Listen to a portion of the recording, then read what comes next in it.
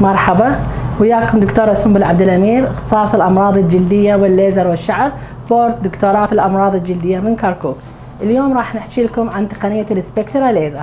ال Spectra ليزر هو تقنية ال Nd:YAG ليزر اللي يعالج أغلب المشاكل الجلدية اللي نشوفها يوميا في العيادة.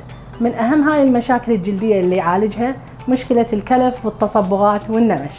وكذلك الوشم بكافة ألوانه الأسود والأخضر والأحمر والأصفر. وكذلك حب الشباب والإحمرار الناتج عن حب الشباب.